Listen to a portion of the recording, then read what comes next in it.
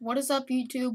Brickman619 here today and today I'm going to be doing a tutorial on how you can add any um, web page app, like a web page to your home screen on iPod Touch, iPhone, or or iPad. This works on any iDevice. Now first, you want to turn it on and I've got to type in my passcode. I don't want you knowing my passcode. So you want to go to the internet browser, and I will, let's say, I will go to Engadget.com.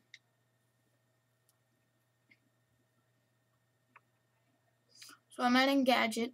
Now, let's say I really like Engadget and I would like to add it to the home screen because I want a quick and easy way of getting to it without doing this.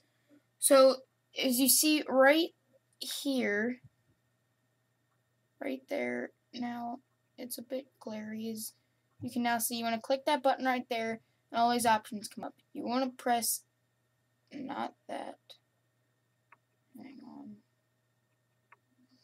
You want to press that button and then you want to press where it says add to home screen.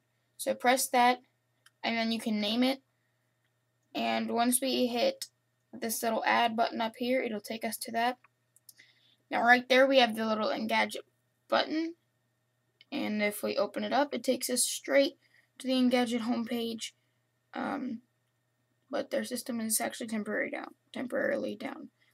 So the nice thing about this is it takes us to it really fast and it's just like an app. If you don't want it anymore, you just hold on it and then you can click delete, delete, press the home button, and then it's gone.